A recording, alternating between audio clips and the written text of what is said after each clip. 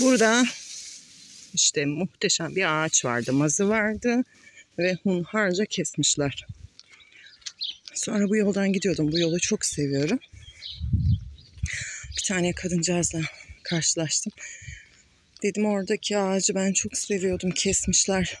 Ben çelik almaya, tohumlarını toplamaya kıyamıyordum dedim. Kadın da hemen bir partinin ismini verdi. Onlar yapmıştır dedi. Bu partiler bizi kaynaştırıyor mu? Bölüştürüyor mu? Ne yapıyor anlamadım. İstihdamı sağlıyor. Dertlerimize çare mi oluyor? Sakın bana havlama. Minnak bir şey var burada.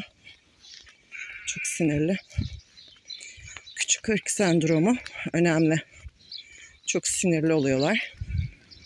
Tavuklar burada böyle özgürce geziyorlar. Alan büyük, problem olmuyor.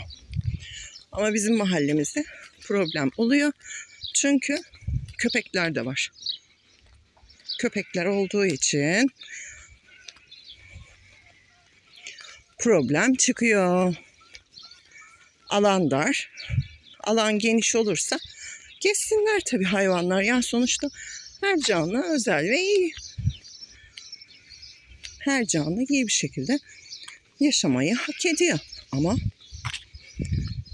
artık sen şehirleşmenin ortasındaysan tavuk besleme kardeşim. Başka alternatifler bul. İnsanlar mülk edinme peşinde. Daha fazla ev, daha fazla araba.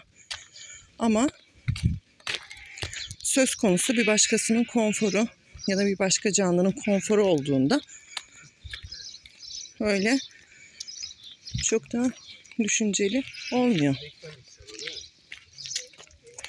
Önce benim diyor.